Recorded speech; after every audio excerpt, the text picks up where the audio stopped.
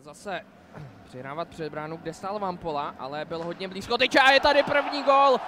Rána z první Petra Hořavy končí za zády Ondřeje Kuchaře. 7 minut 8 sekund před koncem první části lavici.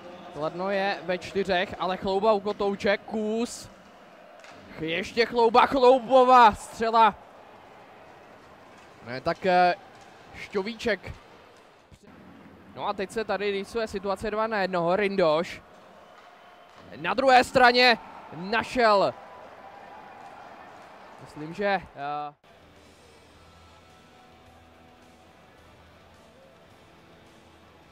Láha na chloubu, ten vyráží dopředu. Chlouba projel úplně sám a dává druhý gol v zápase. Kadaň vede 4-1. Tak eh, tohle bylo s už to vypadá čím dál tím hůř. Možná teďka už něco vymyslí Redlich, velká šance a gol. Tomáš Redlich snižuje na 2-4, 7 minut a 11 vteřin před koncem. Ním Kotouče, Kaut, Říhá, Neš, Nešova střela gol! Brandon Neš přeci jen vykřesává kladnu naději na bodový zisk. Minutu a 8 sekund před koncem snižuje na 4-3.